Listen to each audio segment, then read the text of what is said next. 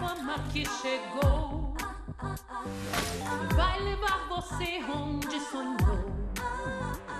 São filas longas pra assistir o show.